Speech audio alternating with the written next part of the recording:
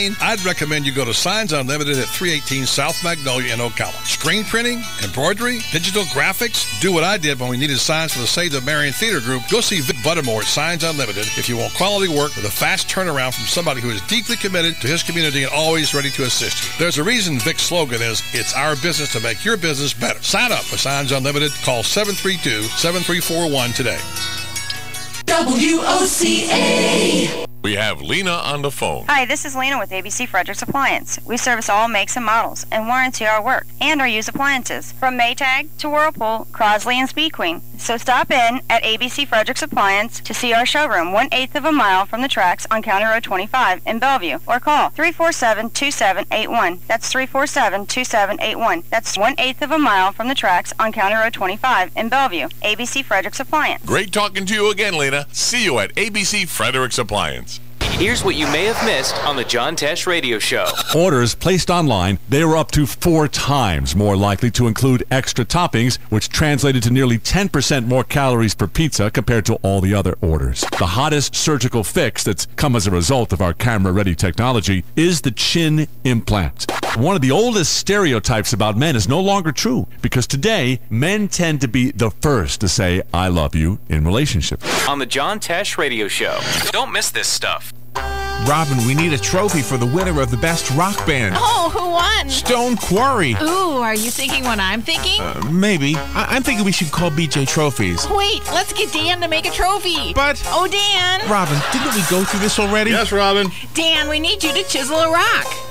Is this for another trophy? Yes, it is. Um, remember, I'm not so good at chiseling trophies. Why don't you call BJ Trophies? That's what I tried to say. But you'd be perfect. Why? I thought we already decided the best trophies are from BJ Trophies. Because you're good at rocks. Yes, Dan, because you're good at rocks. But you want a trophy, not a rock. Uh, it's for a rock band. Oh, oh. Oh, jeez. Isn't that a clever idea? Clever, yes. Classy, no. I think you'd better stick to BJ Trophies for your rock band trophy. But you're so good at rocks. For the classiest trophies anywhere, call BJ Trophies 732-2249 or go to bjtrophy.com. Unless you want a rock. Yeah, then hold on. Unless you need a classy rock.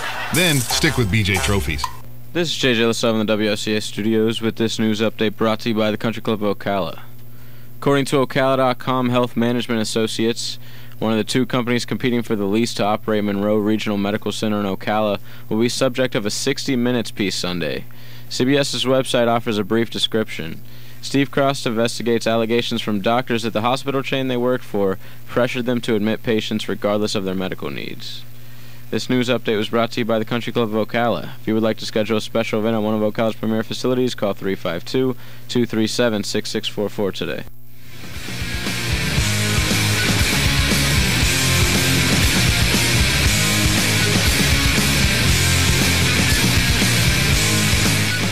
Right, welcome back to the show. Terminator Friday, Football Friday. Not at uh, Gateway Bank today. They're doing having a function over there. They booted us out of the street, and uh, I went by there by the way to drop off some stuff and happened to pick up a cookie while I was there. So of course, I had to have one. You know, I didn't even get a cookie. Come yeah. on. Yeah, well, it's usually you, you got your share of them, so I don't think you missed out on too much. Uh, you know, uh, when I lived in New York and used to go every work every day on the train, the Mhm. Grand Central Station. it was my, you know, when I first moved there, I had to walk through Grand Central Station and often had to step over homeless people. Right. When you live in New York, it's a sight that you you you, you see a lot, and I it bothered me, but I thought, well, this is just the way people do it in New York. You know, this is it. This is what it's about, and uh, you know, what can I do about it? Nothing. And then uh, it always bothered me that I did nothing about it, and still haven't, which is one of the reasons I like things like Helping Hands, because they do, in fact, help people get homes.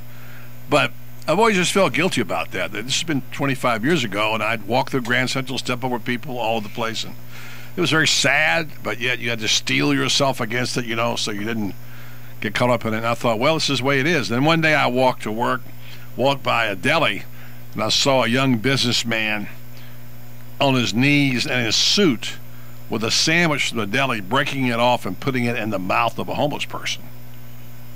I thought, wow. I mean, there's somebody that could do something and did something. You know, I always saw this. You know, it's always a feeble excuse when you say, "What can I do?" That's why I was particularly touched by the story I read today and uh, the video I watched a little bit of. In New York, Police officer. yes, in the- in New York, um, a cop in Grand Central It's a great story. walked by a homeless person, uh, and he happened to be catch the eye of a woman who was there from Arizona, who did a little video. She spotted this cop with a shoeless man. The shoeless man had been asking for a change, and she videoed this. And the officer, in which the officer said, "I have these size 12 boots for you. They're all weather. Let's put them on and take care of you." And the officer squatted down on the ground and proceeded to put socks on the boots of the man. Now, the officer didn't know anything about the video, had no idea that this is going on. So happens a woman is Jennifer Foster of Florence, Arizona, visiting Times Square, and she has uh, a connection to law enforcement. She is the manager of the Pinal County Sheriff's Public Safety Communications Center in Arizona. And she said, I've been in law enforcement for 17 years. I was never so impressed in my life, I didn't get the officer's name. Well, it went viral. Yes, and, he did. And, and all of a sudden, he became world famous. People love this story. It's a great which, story. Which in itself tells me about the innate goodness of people. Well, you know- is that they care about them. One more note, and, and, you know, and, and the fact that this guy's name is, in fact, DePrimo, Officer DePrimo. His name is Lawrence DePrimo, 25 years old, JJ, from Long Island. Only been on the job three years. He lives with his parents. He's shocked by the attention he gets and didn't know the photo that was taken. And he told the New York Times, he said he didn't know. He said, I was free, it was freezing out, and you could see the blisters on the man's feet. I had two pairs of socks, and I was still cold. Right. So this is something, an act of kindness. We always talk about paying it forward, and an act of kindness. This kind of thing has touched a lot of people. And you know, here's the thing that, that I took from the story, buddy. Not only did he do that, not only did he recognize the need, but this cop not only did he help with the need, but it wasn't a shabby pair of boots he went and bought either. It was uh, over a hundred dollars for this pair of boots he bought Yeah. to give this homeless man, who he didn't know, didn't have anything, didn't have any connection with him, and it just so happens the lady took a picture of it. That, So whenever you're thinking, well, I should feel bad for these people, sorry I can't do anything, there's another example of somebody who did do something. Just one man, one person, but you know, that's that random act of kindness that lives forever. And now millions of people know about it. Let's go to the phones. Who you got, JJ? Jim. Jim, what's up? How are Everybody, you? Tom Good, and good. And everybody. How's everybody today? Good, Jim. How are you Good, doing? good. I'm hanging in there.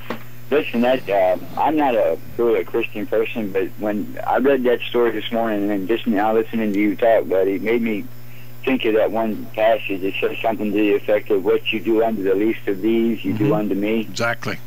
You know, I mean, Exactly. if more people had that kind of attitude, this world would be a whole lot better place. Because not everybody that's out there on them streets is there on, on their own choice. Correct.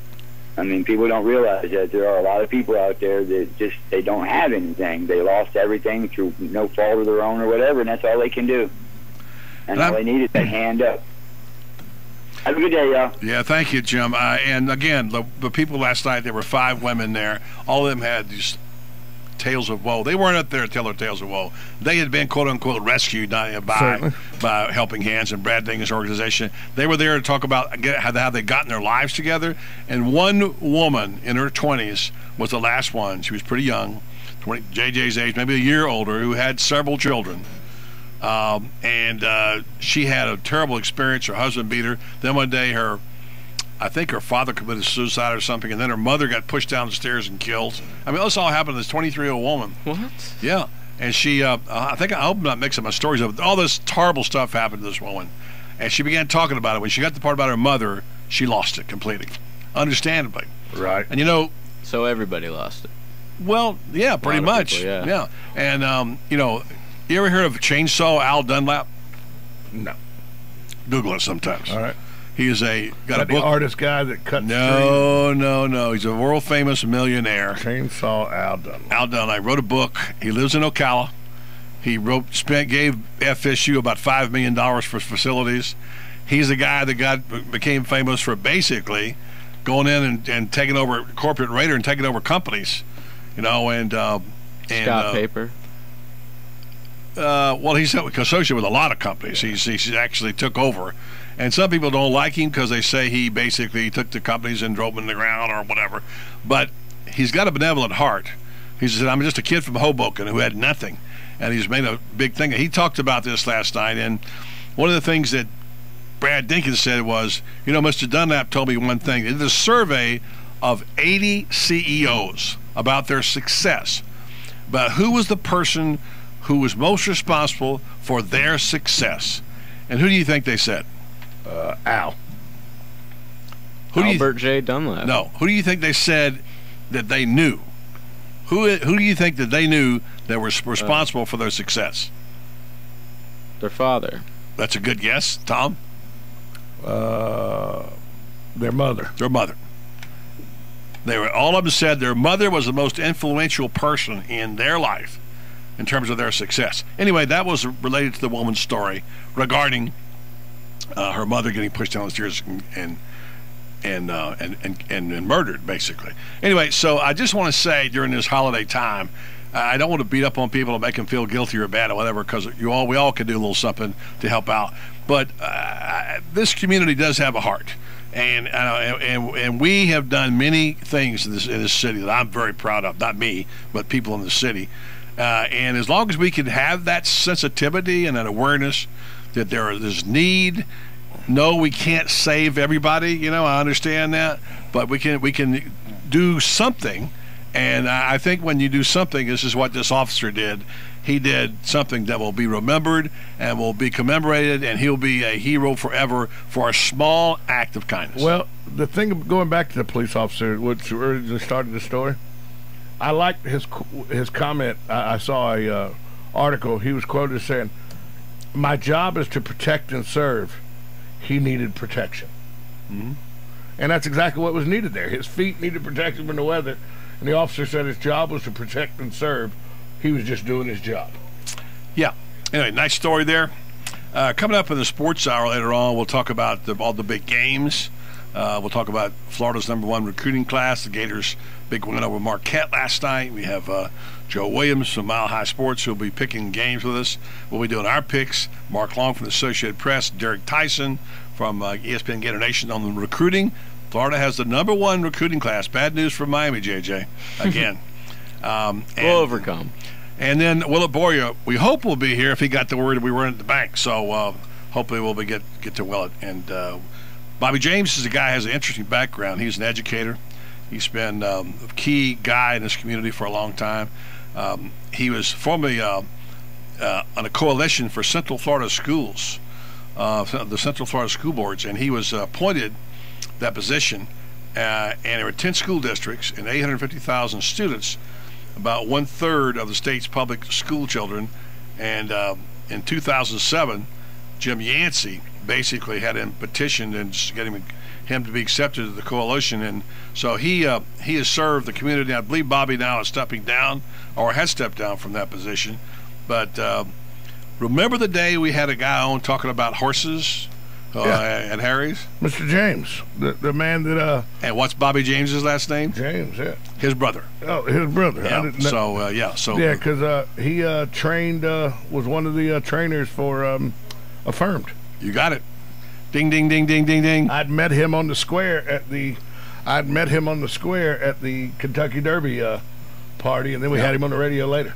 All right. Well, Bobby James is here in the house. We'll take a break, come back, and Bobby will give us his uh, his story about the Kiwanis uh, pancake uh, breakfast and why he wants to dedicate it to uh, Jim Kirk. Time out. We'll turn to the program after this uh, little break on 1370 AM, 96.7 FM, streaming live at WOCA.com. The source. Requires bank approval on vehicle purchase at listed price. See dealer for details. Experts predict this December is going to be crazy busy for car sales. We need to stock up now to prepare for the rush. Hello, I'm Chris Spears from Prestige Auto Sales. I'm about to tell you about one of the biggest saving secrets of the season. Cha-ching! The early bird gets the deal this month if you'll trade in your old car early. Even if you owe 2000 4000 or 6000 more than it's worth, you'll get up to $4,011 off based on the car you choose. Our For the People credit approval process works hard to get you approved. That means even if you've been turned down before, You could be approved for a nicer, newer car today. Be an early bird and save up to $4,011. Shop early before the holiday rush and get a nicer, newer car earlier than you imagined and trade in your old car early. Hurry, this special ends after we've helped 87 people. I'm Chris Spears and I'm a dealer for the people at Prestige Auto Sales in Ocala or Belleview. Or call 694-1234. See you at Prestige. It's Saturday morning football season. Time to kick it off with some great food and one of your favorite beverages. But where to go? Well, try Brunch on Broadway. Check out Football Saturdays at Pie on Broadway every week at 10 a.m. for the perfect blend of football, food, and fun. At Pie on Broadway in downtown Ocala, we'll get you ready for all the big games the live broadcast of Buddy Martin's Saturday Sports page on WOCA AM and FM. Saturdays are also good days to stroll around beautiful downtown Ocala. Head to the farm market on the square and then enjoy brunch on Broadway just in time to watch ESPN's game day on one of our TVs. Of course, Pie is also a great place to dine for lunch and dinner the rest of the week, too. But Football Saturday at Pie on Broadway is special. Pie on Broadway, where you get to the college spirit with brunch on Broadway as your pre kickoff menu.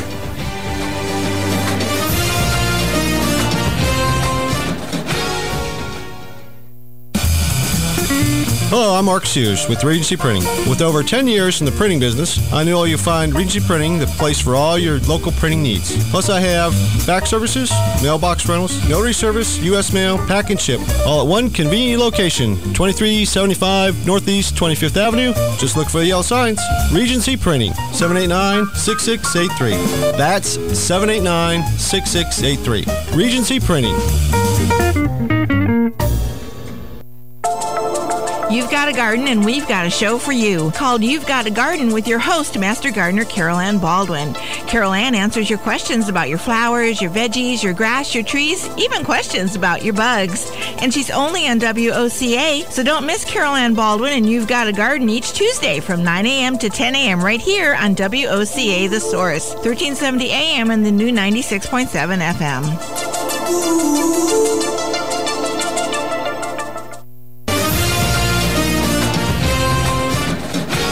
It's Saturday morning football season. Time to kick it off with some great food and one of your favorite beverages. But where to go? Well, try Brunch on Broadway. Check out Football Saturdays at Pie on Broadway every week at 10 a.m. for the perfect blend of football, food, and fun. At Pie on Broadway in downtown Ocala, we'll get you ready for all the big games the live broadcast of Buddy Martin's Saturday Sports page on WOCA AM and FM. Saturdays are also good days to stroll around beautiful downtown Ocala. Head to the farm market on the square and then enjoy brunch on Broadway just in time to watch ESPN's game day on one of our TVs. Of course, Pie is also a great place to dine for lunch and dinner the rest of the week, too. But Football Saturday at Pie on Broadway is special. Pie on Broadway, where you get to the college spirit with brunch on Broadway as your pre kickoff menu.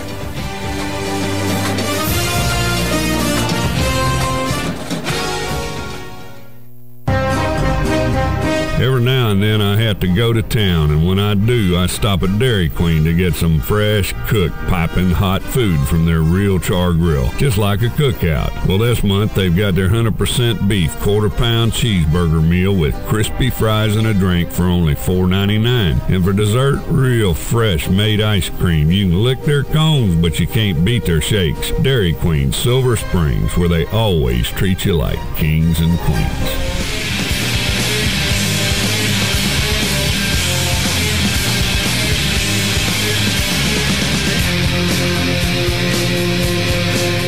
I were talking about people who do things in the community, and um, and you know, and, and all the things that uh, people have accomplished, and all the fine organizations that we have, and people who have a, a servant's heart and uh, just get things done.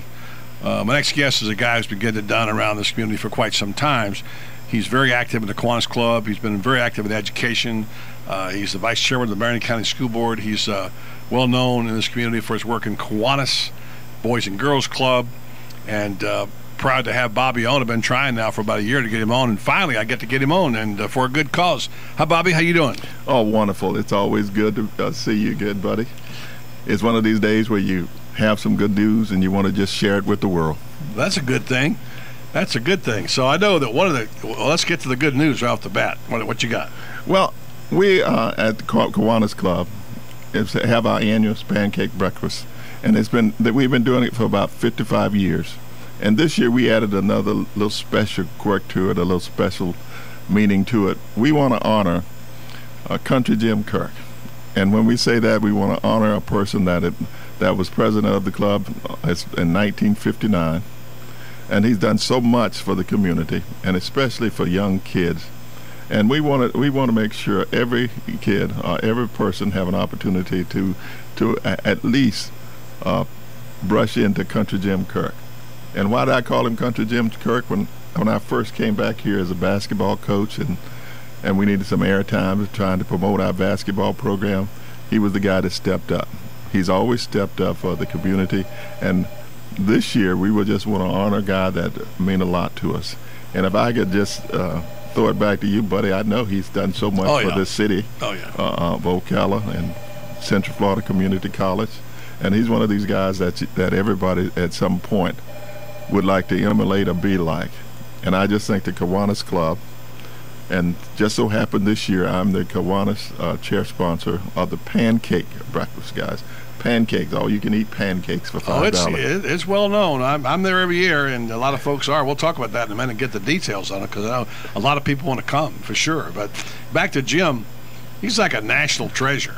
he's a national treasure, and he's one of these guys that every community at some point need to take their hats off and say, job well done. And we at the Kiwanis Club want to start a tradition of re- recognizing Kiwanians that have made a, a difference for many years in this community. And I, I think about his sons. I had the opportunity to coach those kids in high school. And uh, I just know that it's one of these things where you just want to take a, a few minutes and say, job well done. I would like to encourage the people that have touched, uh, that have been touched by Country Jim, uh, to send a kid to camp in honor of Country Jim Kirk. And I, I just, I used to love this phrase when it said, uh, "Hey, tell them Country Jim sent you." Yeah. I would love for kids to, that would walk into the camp and say, "Country Jim sent me." I, I, it's one of those things where you get to see some uh, some neat people.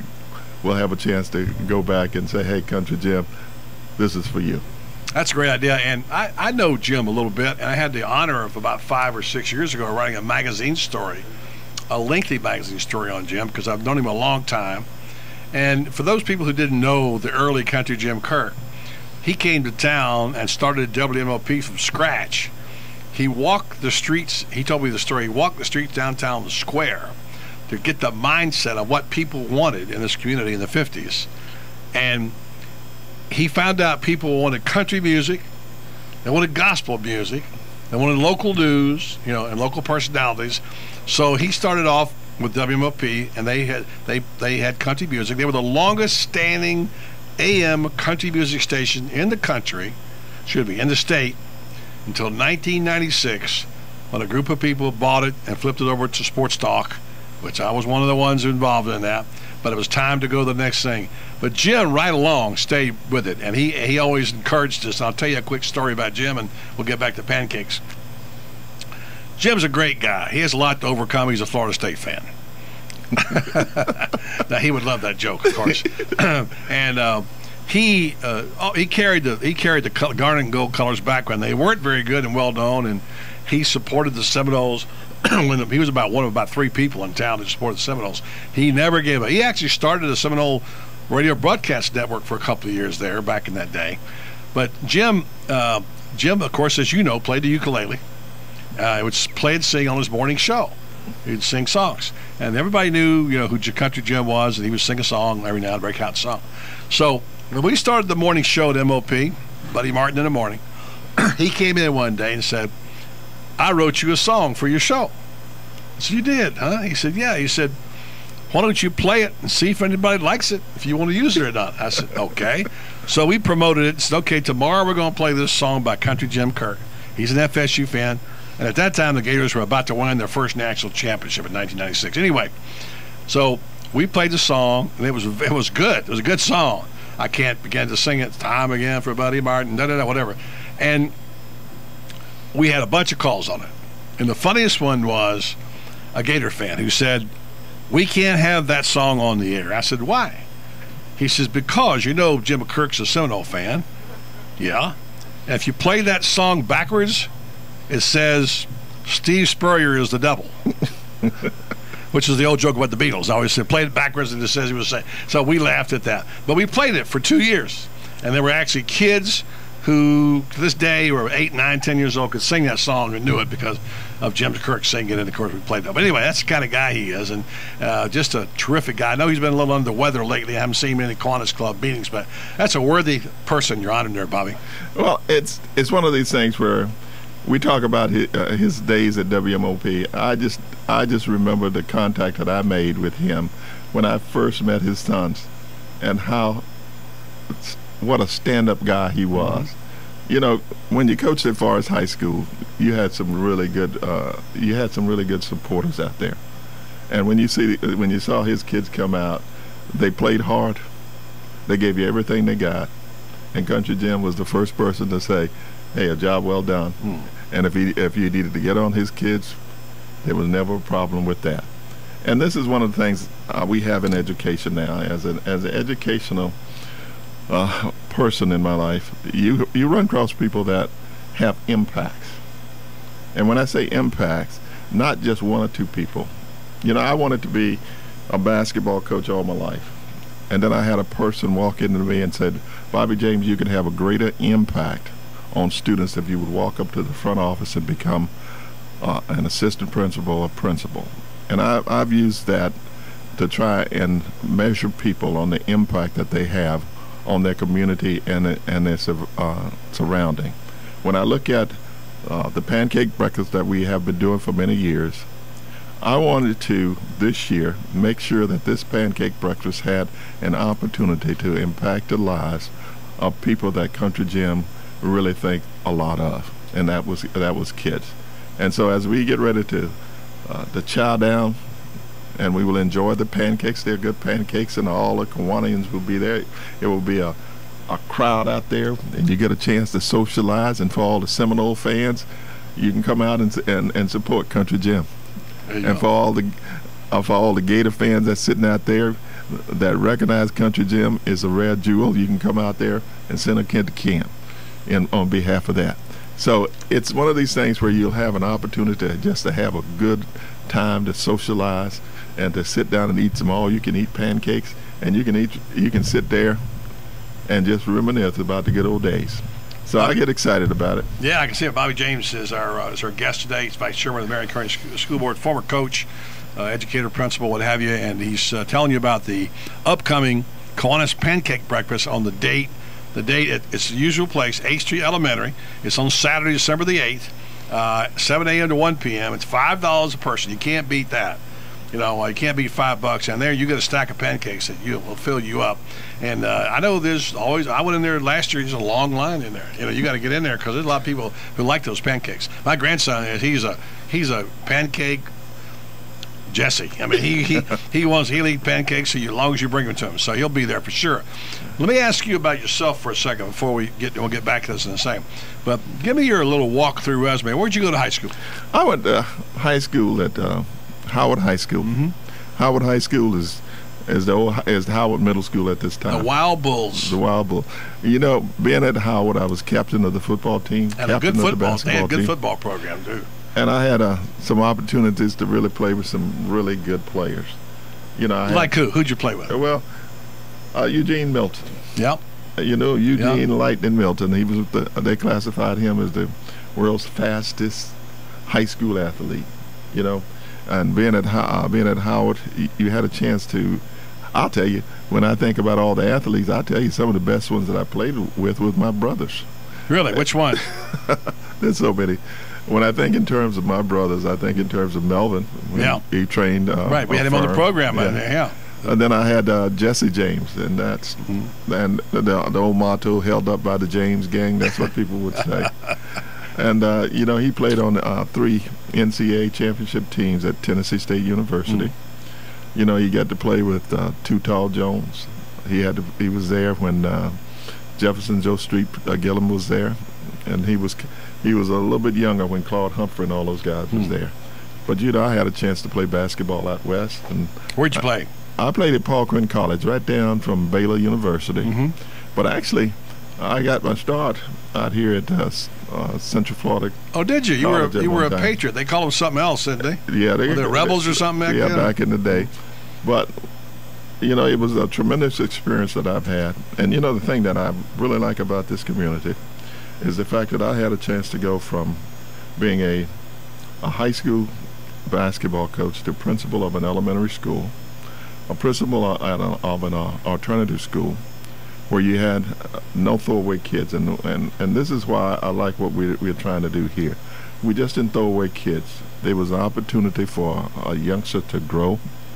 It was an opportunity for a youngster to really find himself. And then I became principal of Dunnellon High School, and this is where I believe in one teacher, one classroom, one school, one community. And as we began to mold this thing, and and then I had the opportunity to really just live the, to create the impact alive of a greater number of people. You know, I served as chairman of the school board, vice chair, and I'm beginning to rotate through again as as the vice chair again. And I had the opportunity to be uh, chairman of the Central Florida Coalition of School Boards. Big organization. Yeah. 850,000 students. 850,000 students, 10 of the um, premier schools district out of the, outside of the Dade County school system. I just returned from a a school board meeting down in Tampa, and we're looking at some of the, the challenges that we will be dealing with in terms of uh, education. And this is why it's it's so important for for for me uh, as chairman of the Kiwanis Club, uh, Pancake Breakfast, um, to really get people involved with kids to really go back, get back to nature, to get back to see how it really is, and how nature can can help you become so self-sufficient.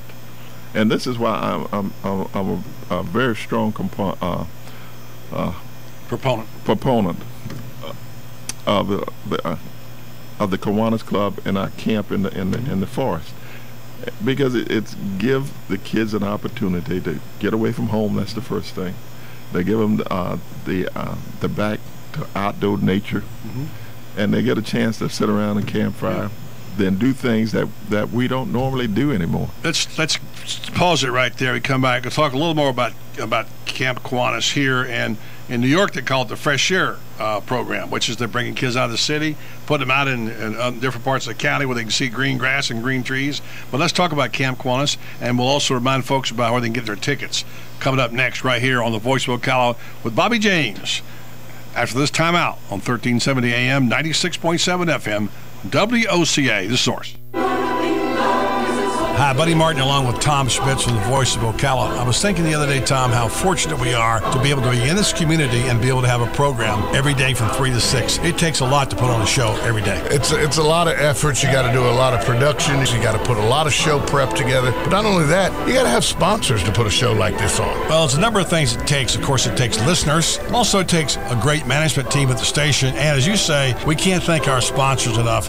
They make it possible for the Voice of Ocala to be heard. And I think about our original sponsors we've had on this program Country Club of Ocala, Prestige Auto Sales, Angie Lewis State Farm. You can't forget the ones we've added, though, buddy. Gateway Bank, High on Broadway, BJ Trophy and Awards. Yeah, of course. And then there's KMF Fitness, Dr. Terry Compton. We could go on and on. We've been really blessed. The most important thing, we want you to have a very blessed holiday. From myself, Buddy Martin, and the Voice of Ocala team, happy holidays. Hi, this is Buddy Martin.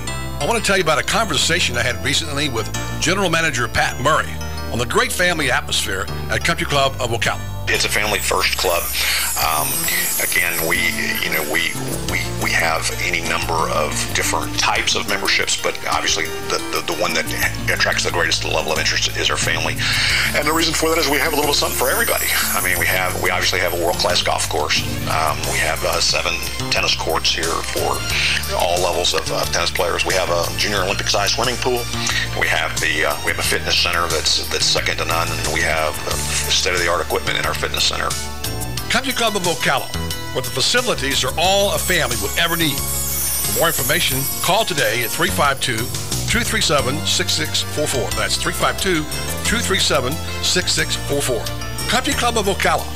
proud sponsor of Monday's Gator Report and Gator Talk Thursday right here on The Source.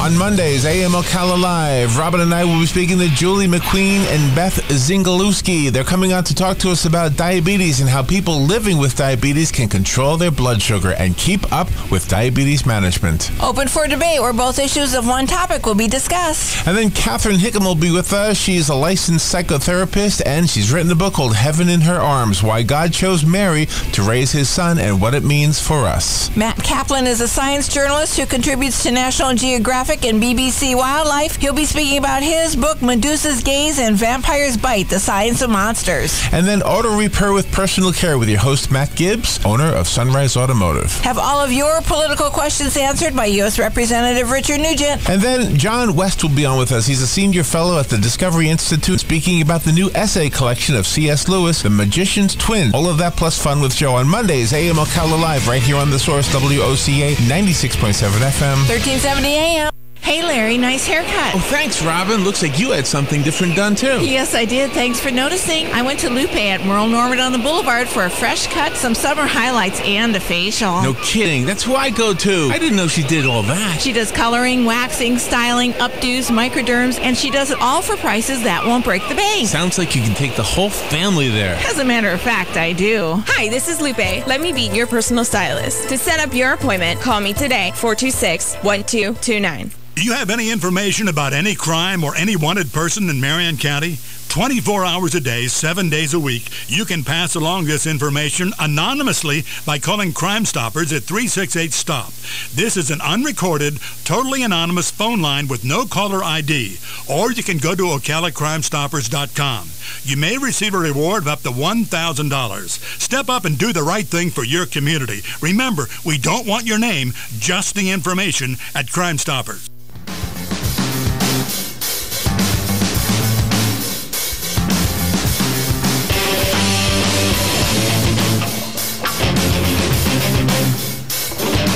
Hi, welcome back to the show. Bobby James is our special guest. Bobby, former coach, um, principal, currently the vice chairman of the Marion County School Board. Very active in the community, especially in things like Boys and Girls Club, and now Kiwanis Pancake Day. If you hadn't heard about it, it's, it's kind of an institution. 55 years it's been on, and that's why you get so many people. All the proceeds go to bring to get kids uh, to Camp Kiwanis, which is a unique facility out in the forest where they go to get to go and spend. Is it two weeks or a week, Bobby? I A week. It's a week. a week long out in the fresh air country, and like Bobby says, it's it's grounded. I mean, you get kids back to nature, and kids who've been in situations sometimes that aren't the best in the world get away from those and get out there in nature. It's a, something very peaceful about that. The the Pancake Day is at 8th Street Elementary School Cafeteria, Saturday, December the 8th, from 7 a.m. to 1. I suggest you get there a little early. You can also order take takeouts. How do you get a takeout? Do you call or you to come by and get it? You just walk in and just tell us how many you uh, you want, uh, and we will take care of it. Just Okay. give us a call. I saw people um, getting pancakes out the back door last time I was out there. How'd they get that now?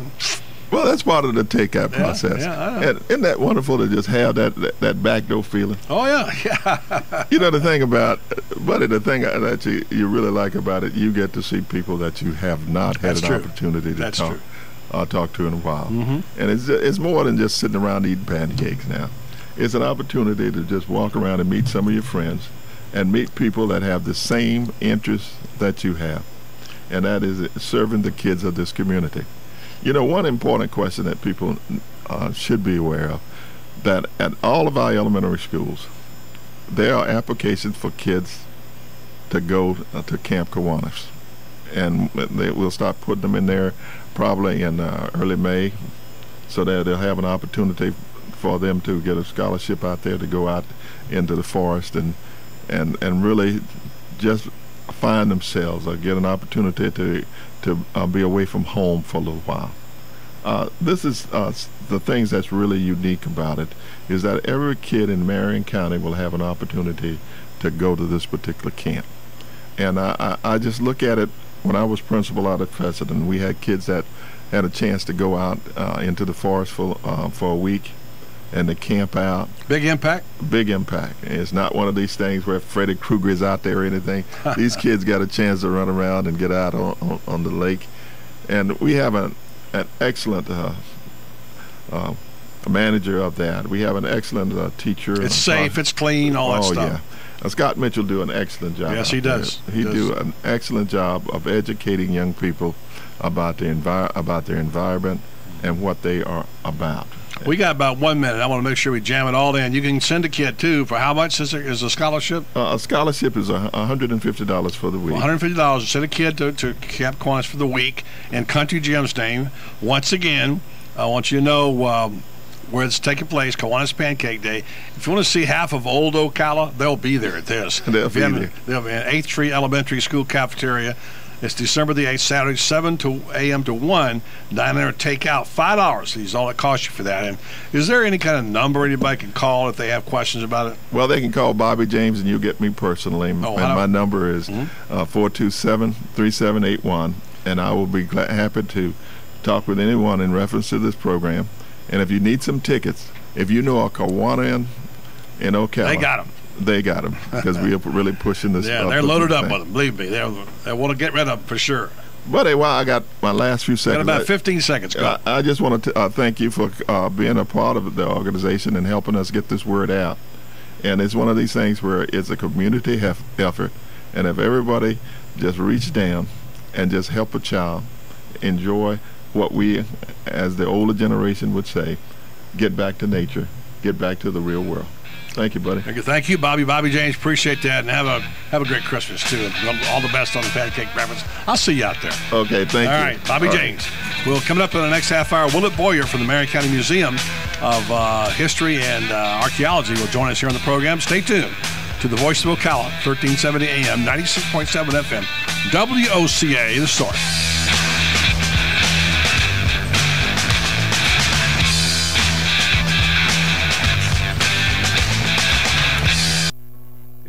You know, Tom, it's beginning to look a lot like Christmas out there. And I think of Christmas, I think about the fact that we're so blessed to be able to be on the show every day here on the Voice of Ocala from 3 to 6 every afternoon. It's Christmas already, buddy. This is our second Christmas. 14 months we've been on the air. I believe it's 16, Tom, but who's counting? Without our sponsors and our listeners, none of this would be possible. We'll tell you this much. We hope you have a great holiday. We certainly enjoy bringing you our program each day. We thank you for your support. Happy holidays, everybody. Hi, this is Carl, KC5CMX from the Silver Springs Radio Club in Ocala. We're having our annual Amateur Radio Hamfest Saturday, December 8th at Green Clover Hall, 319 Southeast 26th Terrace, starting at 7.30 in the morning. Tower Electronics will be there, and so will the tailgaters. Admission is $5 and the public is welcome. For a map or more information, please check us out at the K4GSO.us website. Again, that's www.k4gso.us. Hope to see you there. Here in Florida, when you're looking to go to the beach, you've got hundreds of options. Theme parks, no shortage of options there either. But when it comes to home insurance, most companies have only one option. Allstate is different. Here in Florida, Allstate agents offer home insurance options from several companies, so they can help you get the coverage that's right for you. And they'll help you save on quality car insurance too. For starters, safe drivers save 45% with Allstate. So before you settle for just one option, talk to someone with many home and car insurance options. Your local Allstate agent. Are you in good hands? For more information, call the McDonald Agency at 352-622-2333 or visit us online at themcdonaldagency.com.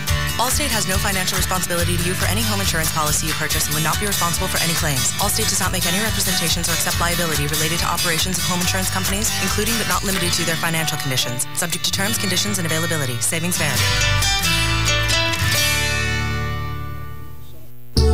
Hi, this is Alan Taylor. Do you want to know what flowers to get your wife on your anniversary? Or which feminine product might be the next big thing? Then don't listen to my show for God's sake, but if you're interested in the latest and greatest in the automotive world, then tune in every Saturday morning for Motor Trend Radio, right here on WOCA 1370 AM and 96.7 FM, The Source. You're listening to WOCA 1370 AM, 96.7 FM, The Source. Hi, this is Brad from Ocala Aviation. How would you like to have someone give you $4,000? Call me. Brad, can't end the commercial that way. Why not? Because you have to tell them why you're giving away $4,000. No, I don't. It's $4,000. Yeah, I know, but for what? Oh, I see. You mean like uh, tell them it's for a flight scholarship that gives young people a chance to fulfill their dreams of becoming a pilot? Yeah, something like that. Nah, just give them the phone number. It's $4,000. All right. What's the phone number? 352 861 7484. Okay, that works. Rediscover the fun and adventure of Silver Springs, Florida's most natural wonder. You'll be amazed at the moments you'll share with glass bottom boats, jungle river cruises, and wild animal shows. There's no place like it on Earth. And right now, Florida residents save half off daily adult admission to Silver Springs. Or for the best value of the year, get the all new Platinum Pass, just $59.99. Your Platinum Pass comes with a full calendar of great concerts like Easton Corbin and Joan Jett. And you'll get a full year of special events, plus VIP entry, free parking with every visit, even a free Wild Water Season Pass. All yours with the Platinum Pass. Buy online now for just $59.99. So make your own special memories at Nature's Theme Park, Silver Springs, east of Ocala on State Road 40, or on the web at silversprings.com. Hi, I'm Lisa Midget with Kinetic Motion Fitness, Ocala's premier small group and personal training fitness studio. Did you know you can achieve all your fitness goals, whether that's losing weight, getting fit, or training for a personal best, all with no membership fees? Have you ever been embarrassed or intimidated at a big gym because you're not a Greek god or a size zero supermodel? Have you ever felt like your gym would rather you not even show up? At KMF, we have a team approach that focuses on small classes and personal training, and you'll feel like family, not just another number. No more boring treadmills or endless reps. Our classes are fun, energetic, and get you the results you want. And I should know, with the help of our great trainers, I lost over 100 pounds in eight jean sizes, and I did it using no heavy equipment and no magic pills. Just fun and effective workouts. And yes, I did say fun. Come join us at KMF. Visit our website at kmfocala.com or like us on Facebook. Again, that was kmfocala.com. You're listening to WOCA News Talk 1370, Ocala's source for what's happening in today's hottest, up to date news and topics. Now, I'm Daria Albinger. We're going to have to wait to hear if the Supreme Court is going to say we do to same sex marriage, or at least to hearing cases that pertain to it. At issue, California's Proposition 8 and other laws which question whether the Constitution allows people to marry regardless of sexual orientation. Two college campuses on lockdown today. At least three people are dead in an incident at Casper State College in Wyoming. A football player at Morgan State University in Maryland was shot and wounded in a separate incident. He wants a red Camaro. She wants to travel, but Mark and Cindy Hill say otherwise life will be the same, except for the fact that now they're really, really rich. The Missouri couple had one of the two winning tickets in this week's Powerball drawing. They'll split the $587 million jackpot with the other winning ticket holder. That ticket sold in Arizona. Bo, the first dog, is back in a new Christmas video on the White House website. He's giving kids a dog's eye view of the executive mansion's holiday decorations. This is ABC News. Have you heard? Proactiv is better than ever. Stay tuned for a million bottle giveaway. Do you have troubled skin, acne? Well, we have great news. With Proactiv, your acne can heal and you can prevent new breakouts from happening. Be one of the first to try it by giving us a call at 1 800 685 2914 because we're going to let a million people try Proactive risk free and also receive our legendary refining mask and green tea moisturizer free if you call right now. You heard it. Be one of the first to try better than ever Proactiv solution. You'll receive a 60-day risk-free trial, plus a free refining mask and green tea moisturizer. Call 1-800-685-2914. This is our best radio offer. Get your risk-free 60-day trial of Proactiv plus two free extras. Go to getproactive.com or call 1-800-685-2914. That's 1-800-685-2914. I'm just sick of all the amateur stuff, you know? I mean, like, if I'm paying top dollar, I want a little production value, you know? Like some editing, transition, something, some music. Don't worry, we didn't leave you. He's gone? He's not gone. That's the whole point. He's never gone. Our bosses say we gotta stay. Check out the name tag. You're in my world now, Grandma. Bow to your sensei. Bow to your sensei! It's time for the second hour of The Voice of Ocala. Hooah! You, you ever come across anything like time travel? Come on, stick around. It's free. If you win, you win. If you lose, you still win.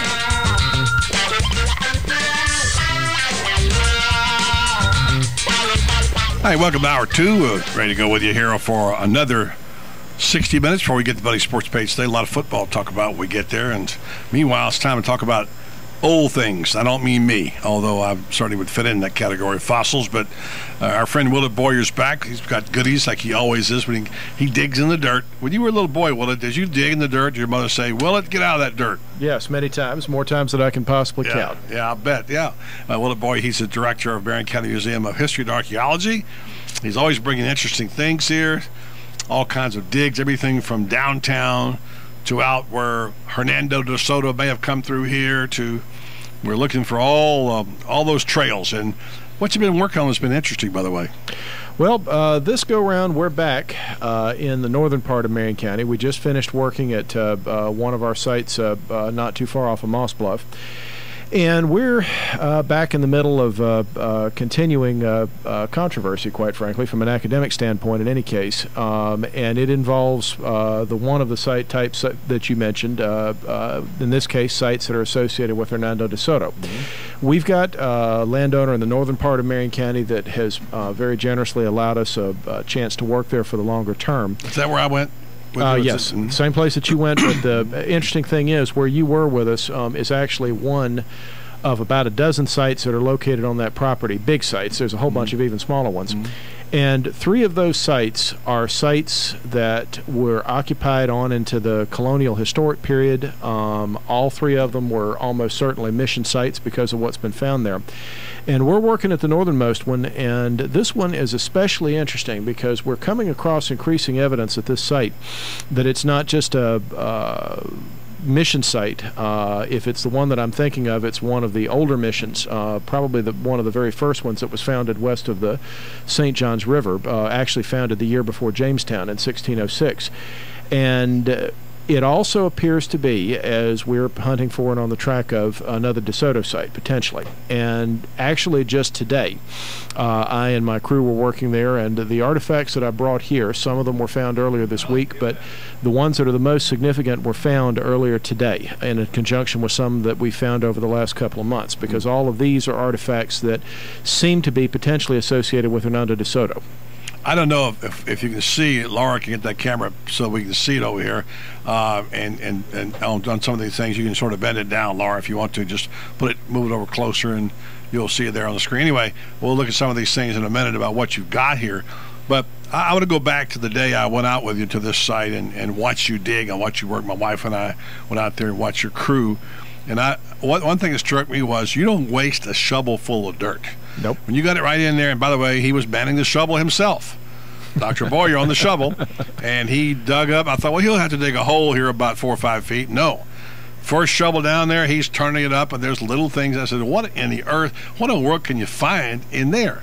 Explain. Well, um, when you have got an area that hasn't been disturbed uh, by later stuff, layers after layers after layers. The deeper you go, the older you get. But in this particular area, uh, from the very beginning, the minute that you put a shovel in the dirt, sometimes even before you put a shovel in the dirt, because some of the things I'm going to show you are surface finds, uh, there are artifacts. And this one area particularly, uh, Marion County has had people here, of course, for 13,000 years. But in terms of the historic period, uh, from the time that you see Europeans coming here and before, this area that you came out to is especially important because there's some very ancient stuff, Paleo-Indian, Archaic period stuff, but from the time of the coming of DeSoto onward, there have been Europeans in that area when you were out there that day, uh, we were finding some stuff uh, that was Native American that was associated with the later historic period, and some of the things, if you remember, that we were turning up there were actually uh, part of a 19th century from the 1800s boat landing. One of the first steamboat landings in this area belonged to a guy named Judge Means, and where you were that day, we think was Judge Means boat landing. We were digging probably through part of the area they'd flattened out to bring uh, uh, cargo and other things off the boats and to take things down to get loaded up. And prior to that, probably Native Americans were out there. Well, they're like, oh yes, uh, almost certainly. Yeah. Uh, what makes Marion County so rich in, in artifacts? The fact that it's an area, number one, that people have been living at, as I said, for a very long period of time. Undisturbed, lots of places undisturbed. Precisely. The that's the second point, and it's something that's a matter of privilege to me, not just as an archaeologist, but also as a seventh generation native here, and that's that This is an area that, for whatever reason, like a lot of parts of northern and central Florida, hadn't gotten a great deal of attention historically or archaeologically, despite its importance. Most archaeologists that I've known t- in Florida prefer to work on the coasts or they prefer to work at areas that are better documented, like uh, St. Augustine, which is both on the coast and the colonial capital, or the area around Tallahassee, which is not only Florida's American capital but also was the sub capital, had a Spanish mission in the town there in the 1600s. And it's easier tempting to do that, but the reality is that most of the people in Florida that made things go through all time periods lived in areas like the ones here. We've got some of the best farmland, we've got beautiful area to live, we've got wonderful rivers to travel, and people have been using these for a long time. And in the colonial period, the Spanish were thinking more of the missions on the coast or the missions on the Royal Road to the north of here. And the, yet the missions here were the ones that grew a lot of the food and provided a lot of the labor. In the 1800s, you get a lot of documentation on cities like Jacksonville or Key West or what have you, where you've got people going in and out and a lot of records. But again, the reality is that our town here, uh, for a while uh, in the 1800s, was the boom town. It was one of the fastest growing cities in Florida and had people coming here from all over the world. When we did our dig in the downtown, we were finding ceramics and things that were imported from all over the United States, from Europe. So that is a treasure and a privilege because this area has not been tested or done a great deal with archaeologically, and that means we've got a lot of big, phenomenal, undisturbed sites that are going to tell us a lot about what's going on here. Yeah, and in addition to the fact that so many of the explorers landed south of us, Tampa Bay, or even down in uh, Charlotte Harbor, or wherever people came in, DeSoto, uh, what have you, and and they came up through here because we were the we were the trail. This That's is where everybody came, and so Native Americans, explorers, all came through here. So there's got to be a lot of stuff out there, as you point out, the missions, the explorers, Native Americans. Uh, I know you're finding all kinds of treasures. and I want to get to those in just a minute. Let you show some of those things and talk about them. Let's take a break. We'll come back and we'll join Dr. Willard Boyer of the Marion County Museum of History and Archaeology right here in the Voice of Ocala. After this timeout on 1370 AM, 96.7 FM, WOCA, The Source. Every day we hear another story about innovation or about cutting edge technology taking place right here in Ocala. The power plant, IHMC, Ocala 489. Did you know that important medical research is also being conducted here that may impact hundreds of thousands of people in the country someday? Maybe you've heard the name Renstar, but like so many others, perhaps you didn't realize that Renstar Medical Research is one of the top facilities of its kind anywhere in the U.S. There are important research studies being conducted by a highly qualified team of medical experts at Renstar, impacting decisions of major pharmaceutical companies and bringing new drugs to market. And you can be a part of these studies, as so many local people have done and are currently doing. Renstar has conducted more than 500 studies since its inception and would like to extend the opportunity to you to be a part of these cutting-edge programs. Call 877-629-5800 or 352-629-5800 if you'd like to know more. Renstar Medical Research, locally owned and operated in beautiful downtown Ocala. Renstar, seeking tomorrow's answers to the health questions of today. Hi, this is Buddy Martin. If you have an award or a trophy in your house, there's more than a good chance it came from BJ Trophies Gifts and Awards. At BJ Trophies, Floyd Hirschberger and his staff have a lot more than just trophies. Among the items they specialize in are donor recognition walls and trees, personalized or engraved gifts, cast bronze dedication plaques, wide format digital printing with posters, banners, and signs, and promotional products. Floyd is the official trophy and awards maker for the Voice of Ocala radio show and is North Central Florida's leader in custom recognition programs, corporate awards, industrial engraving, unique gifts, and advertising specialties. When Angie Lewis went shopping for something to award to the winners of her State Farm Good Neighbor Award, she shopped first at BJ Trophies Awards and Gifts. Check them out at 1735 Northeast Jacksonville Road on North Magnolia's Miracle Mile or call them today at 352-732-2249. BJ Trophies Awards and Gifts. Trophies is just our middle name. If you need a sign or a banner for your yard or your business or your campaign, I'd recommend you go to Signs Unlimited at 318 South Magnolia in Ocala. Screen printing, embroidery, digital graphics. Do what I did when we needed signs for the Save the Marion Theater Group. Go see Vic Buttermore at Signs Unlimited if you want quality work with a fast turnaround from somebody who is deeply committed to his community and always ready to assist you. There's a reason Vic's slogan is, It's our business to make your business better. Sign up for Signs Unlimited. Call 732 7341 today.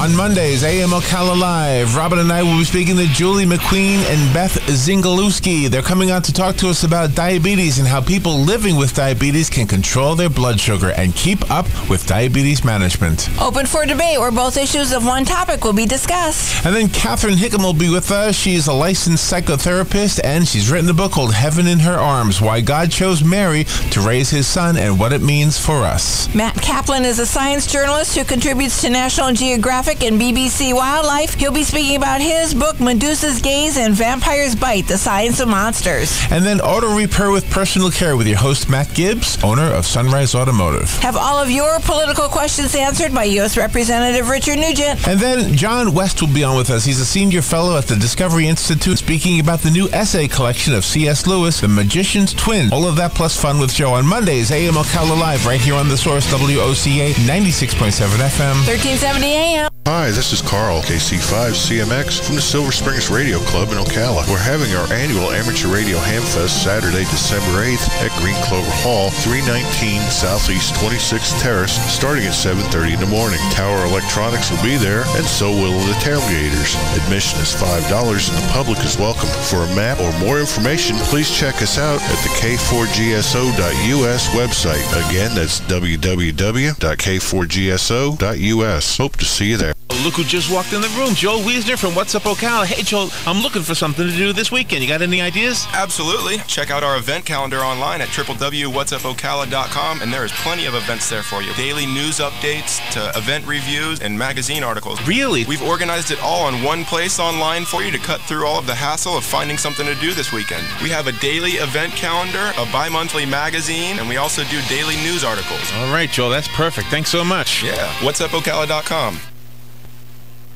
This news break brought to you by Country Club of Ocala. According to Ocala.com, President Obama today accused Republicans of putting Americans at risk of a Scrooge Christmas if they fail to extend middle class tax cuts, telling workers in Pennsylvania that a tax increase would be a lump of coal. Obama made his remarks about the negotiations to avert the impending fiscal cliff. This news break was brought to you by the Country Club of Ocala. If you would like to schedule a, a special event at one of Ocala's premier facilities, call 237 6644 today.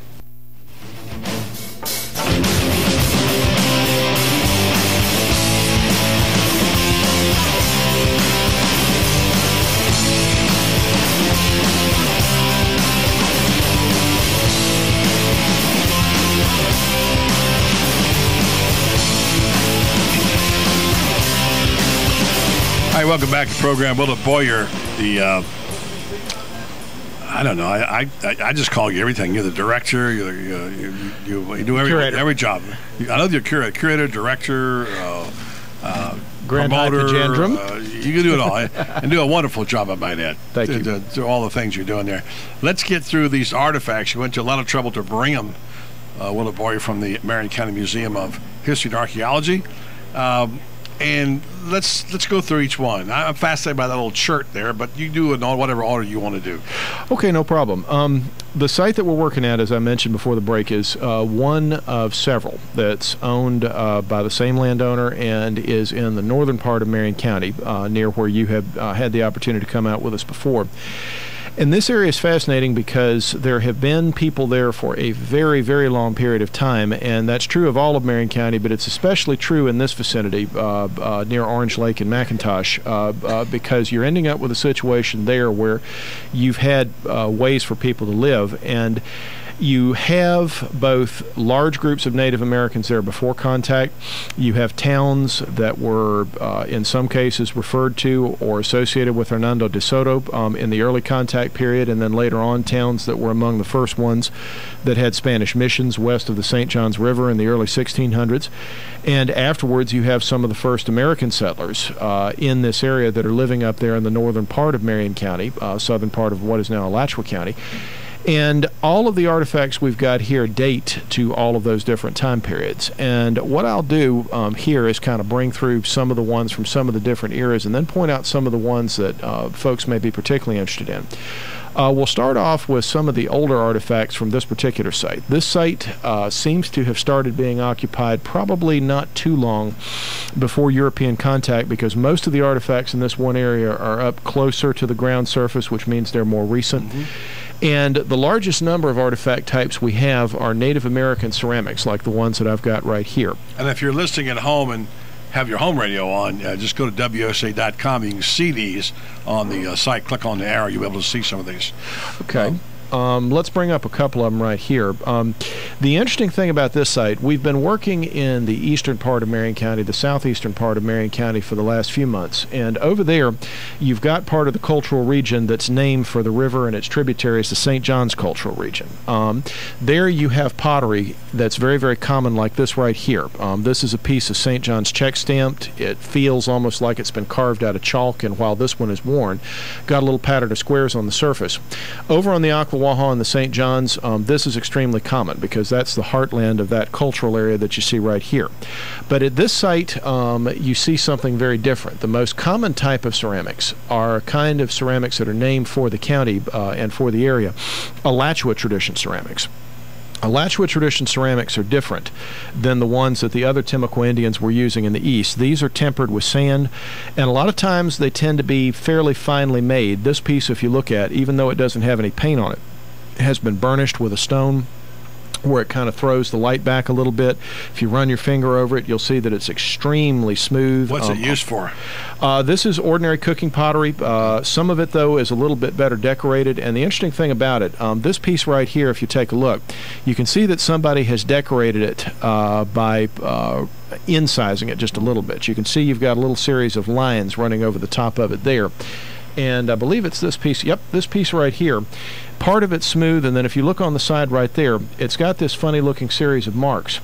These marks are uh, from a corn cob. This is a type of pottery that is called a Alachua cob marked. This is one of the first areas where we have proof the Indians were using corn on a larger scale because they tend to decorate their pots with uh, this sort of thing. You've got grit tempered pottery right here. It's like sand tempered. Uh, tempering, by the way, folks, is anything that you mix with the clay to make a pot stronger, and this is kind of thicker and heavier. Uh, more sand tempered and grit tempered pottery right here. And then you've got a big chunk of chert. And this is a core. This is the kind of thing that you would flake tools off of to make them. And this was one of our surface finds from earlier today. Uh, very, very interesting. Um, this is. Well, you got three things there you just got this morning, right? Uh, yes. Well, actually, a lot of these we got this morning or this week. These three, though, were found this morning at the Again, site. mentioning chert as being one of the most hard and durable substances. They made arrows out of them, arrowheads. They made. Uh, they, they they made I guess uh, we call them hatchets. What are they? All Yep, kind of hatchets, spearheads, It's choppers. such- it's like it's almost like granite. is so hard. It's hard to break, isn't it? Very much so. And that's what makes it good for tools because once you do have it worked into shape, it'll usually stay that way.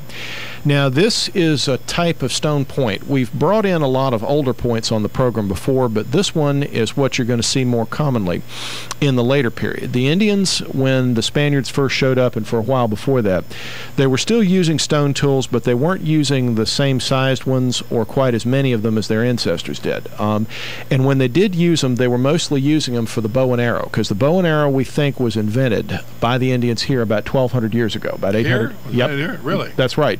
Before that, they were using spears. Like the the points that we brought in before were mostly spear points or knife blades. It wasn't until about 1,200 years ago that they developed the bow and arrow, and you first see in the archaeological record all the way on up into the historic period little points that look like this. Some people call them bird points. The archaeologist name for them is Pinellas points here in Florida because that's the county where they were first discovered. But they're these little tiny triangular points like this one. They don't have a tang. They're not very wide. They're designed to be made quickly, where you can put them on the tip of an arrow shaft and you can shoot them if you need to, or you can trade them off with something else if you're going to go uh, uh, bow hunting um, or bow fishing with them, which the Indians did based on what we can tell and from the historic records. But what makes this site especially significant is we've found hundreds. Uh, at this point, we're into several thousand fragments of Native American ceramics. We found Pinellas points. We found other things that date to the later period. But this site is also extremely significant because we have found not just one, but two different time periods of Spanish artifacts. We found artifacts that date to the early 1600s. We found uh, uh, pieces of what is called middle style olive jar. Uh, we found a type of majolica, which is a tin enameled ware that dates to the early 1600s. We found Spanish trade beads, not just here, but at the site you were at, Buddy and another one to the south of that. So there was at least one mission and probably more likely three in this area. Um, but the interesting thing about this one of the three are artifacts like these that I'm about to hold up here. This variety of olive jar that I'm holding in my hand is a lot older than the mission period. Um, I'm going to hold it up on the side here to the camera. what? About what period? This is at least 100 years older than the time of the missions. So Um, 1600 or early 1500s. 1500s. Yes. This type of olive jar is called early style olive jar. It was made or it shows up in the New World from 1492. You see it in context as late as the 1570s, but it's most common on sites that date to the 1520s, 1530s. You see some of it in St. Augustine in the very early context. If you look at it from the outside, this has a thick whitish effluvium. This one spot right here was damaged, um, unfortunately, by the shovel when we were digging. On the interior, if you take a look, you've got a nice, thick, heavy green glaze. And middle and later style olive jars were after Spain got their empire going. They're the kind of thing you'd find at a mission because they're big, huge, heavy pots, and they'd be used. They loved them some olive jars, didn't they? They did. I mean, they had olive jars everywhere. Well, it also was there. It's a matter of pride for the Spanish that even if they're in the New World, they're going to eat stuff from the mother country where they can. They want wine coming from Spain. They want olive oil because olives won't grow most places over here, and they want other foods and stuff that are coming from there. And in the 1600s, they're shipping that out. These are big, heavy shipping containers. But in the 1500s, when you have explorers like Narvaez and in this area De Soto coming through, you're going to have olive jars that look like this one. If this was uh, from it, the intact vessel, it would look kind of like this rounded globule. It would have a couple of handles and it would have a flared neck. It actually would look kind of like a canteen that you could cork. And this is the kind of thing that a soldier would have hanging at his belt that he would have to take a drink or what have you. This would not have been made any later than 1550, and we have found nearly 10 pieces of this very distinctive early style olive jar at this site. You're not going to find that many pieces unless you have a large group of Spaniards staying there for a while. So we're starting to think that this may be another De Soto site. So far, we've got 10 pieces. And something we just found this morning that boosted that interpretation is this piece of pottery right here. I'm going to hold this up to the camera for the uh, uh, listeners that may be watching online. But if you take a look, this has a very thick, heavy, slightly off white glaze. And if I turn it on the side right here, you'll notice that it's kind of buff, um, has a slightly tan color to the paste. And I'm going to hold it up here on the bottom. And if you look, it has a dimple on this edge. This is where the base of the vessel would have been.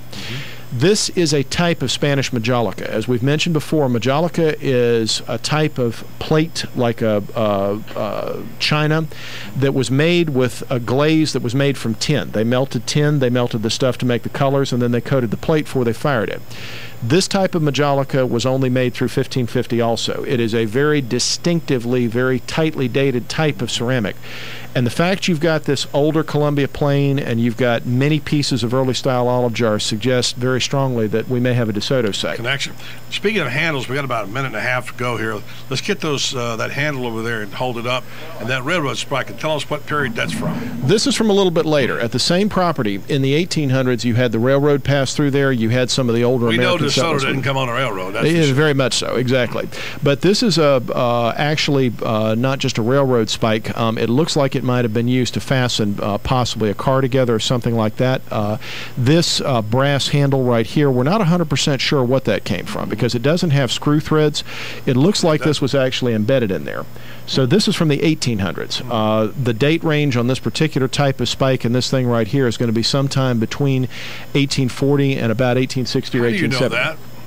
Because when you get into the historic period, you have very distinctive records of when things were made, and you've got many more pictures that show what things look like, photographs There's and other things. footprint there that you can tell, right? Exactly. That's just exactly right.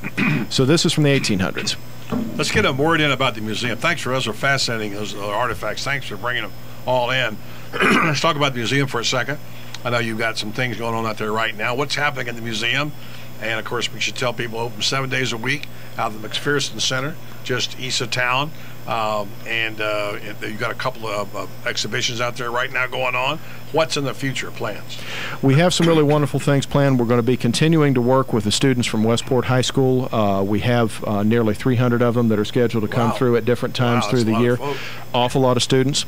We have, uh, uh, if things work out right, we're planning to um, expand a number of our exhibits in the pre-contact and colonial room, also in the American Historic Room. We just received a number of wonderful donations for our World War II Great Depression exhibit, and we're working on upgrading that.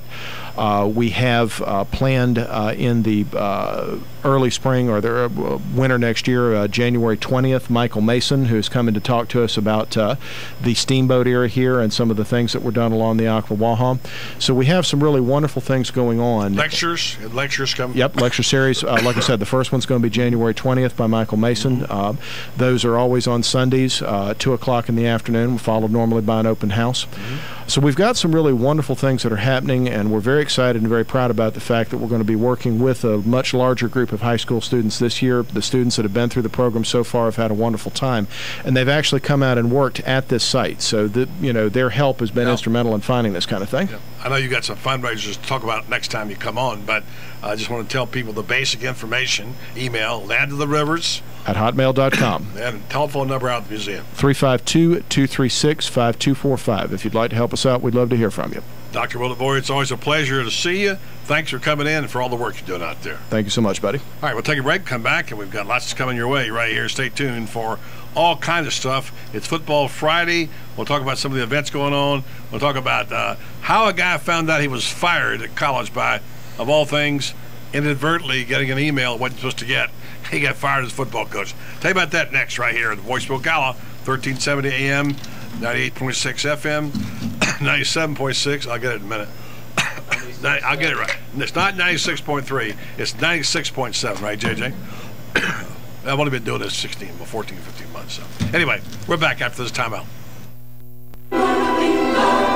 Hi, Buddy Martin, along with Tom Schmitz from the Voice of Ocala. I was thinking the other day, Tom, how fortunate we are to be able to be in this community and be able to have a program every day from three to six. It takes a lot to put on a show every day. It's it's a lot of effort. You got to do a lot of productions. You got to put a lot of show prep together. But not only that, you got to have sponsors to put a show like this on. Well, it's a number of things it takes. Of course, it takes listeners. Also, it takes a great management team at the station. And as you say, we can't thank our sponsors enough.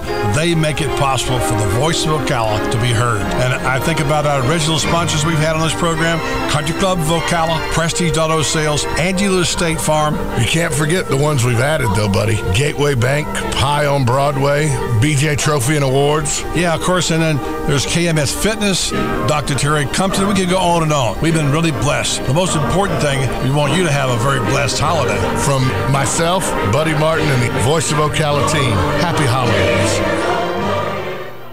Recently, I had a great conversation with General Manager Pat Murray on the special events at Country Club of Ocala. We have a lot of uh, events, special events here that are that are geared towards the family. Uh, Easter comes to mind.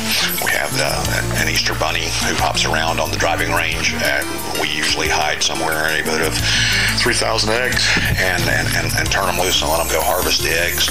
We have a great family celebration here on the 4th of July where it's it's a traditional cookout, if you will.